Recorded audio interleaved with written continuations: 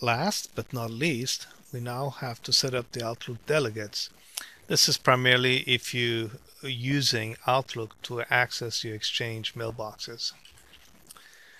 So if you're using a CDO MAPI interface, by now you should be up and running. Uh, we don't require any reinstallation because if you succeeded on step one and two with MAPI, then uh, step three should be not necessary. But if you need to do step three uh, and MAPI is not working, you have to reinstall MAPI. Now, if you're uh, using Outlook as your interface to access your Exchange mailboxes, now you have to set up delegate mailboxes.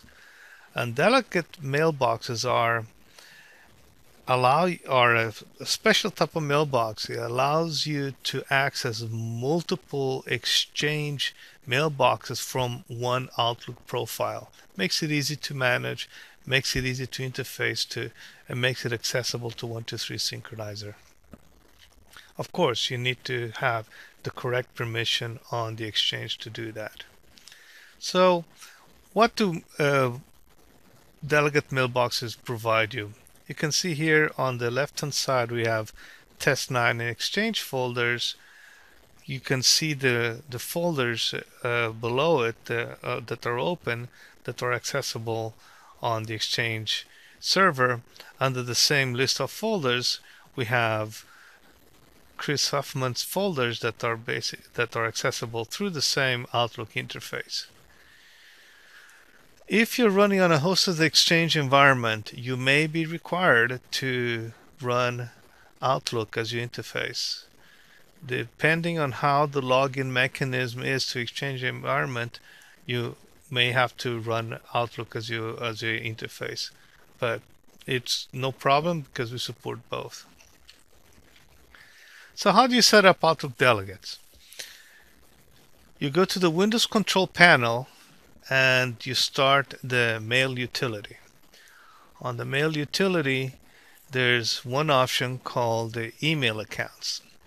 Once you click on the email accounts, you get the listing of email accounts and click on the exchange account that you use because you only have you only can only have one exchange account so click on that and click on the change button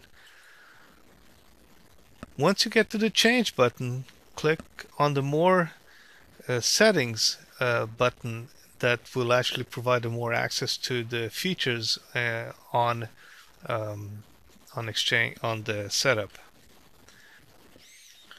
Once you click on the more settings you then are provided with a couple of options. The options that you want is the advanced options and by pressing on the add button of the advanced options you can then add, you can add these mailboxes to your list of accessible mailboxes from Outlook.